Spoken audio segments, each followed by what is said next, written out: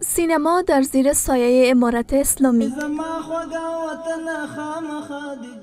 افغان فیلم کانون اصلی فیلمسازی و سینما در افغانستان نخستین فعالیتش را در دوران حکومت امارت اسلامی به نمایش گذاشت. مستند شاهراه سالنگ و پل کمپنی اثر از افغان فلم را اینجا به نمایش گذاشتند.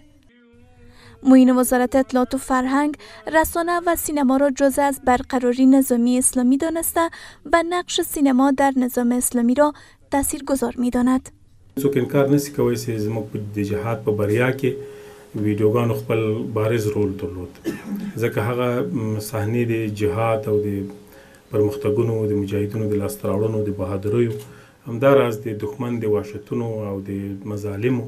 سي نړۍ ته وړاندې کېدل، ځوانانو ته او افغانانو ته په هغو کې یو ځانګړی احساس د اشغال او د مظالمو په وړاندې باندې پاراوه او ایجاداوه. څو مستندات چې په ډېر کم وخت کې یې بیارابر کړي دي، شرایط هم عیار نه وو، وسایل هم موجود نه وو، هغه علمي او تخنیکي مواد هم ډېر مهیا نه وو، خو بیا یې هم دوی په دې وتوانېدل چې دوه درې مستندات برابر کړي، دا ډېره غټه لاسته راوړنه ده. رئیس افغان فلم در جریان این نمایش میگوید این روزها را تجلیل می کنند با نشرین این مستندها نشان دادند که می توانند سینما و افغان فلم را حفظ کنند با گفته رئیس افغان فلم اثرهای بعدی مستندها از جریان 20 سال جنگ گذشته افغانستان به عنوان تاریخ تلخ تصویر افغانستان خواهد بود د هغوی په اړه باندې په یو طرز العمل باندې کار روان ده هغه به بشپړ شي انشاءالله او فی الحال کومې زنانه کارکوونکې چې دلته وې هغه ټولې تللې دي دلته داسې کس نشته چې هغه راشي او خپله حاضري امضا کړي نور په آینده باندې د آینده د پلانونو په اړه باندې چې دوی به رول کې لري دا د طرز العمل یوه برخه ده انشاءالله مابعدي خبره ده حل به شي. شمار از اشتراک کنندگان که برای اولین بار به سینما آمده بودند میگویند سینما از تاثیرگذارترین بخش های است که امارت اسلامی می تواند از آن در بخش نظامسازی سیاست و فرهنگ استفاده موثر داشته باشد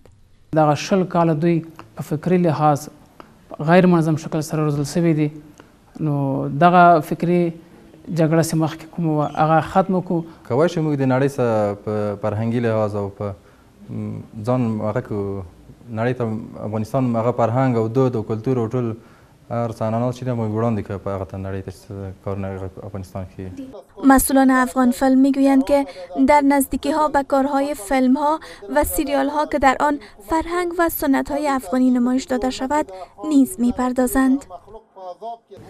با همایش امروز ظاهرا به نظر می رسد که دولت جدید افغانستان با فلم و تصویر مخالفت ندارد و اجازه می دهد فیلمسازان، سینماگران و هنرمندان به کارشان ادامه دهند ولی با آن هم مشخص نیست که فلم و سینما و جایگاه آن در آینده افغانستان در کجا خواهد بود فرهناز فریبرس آریانا نیوز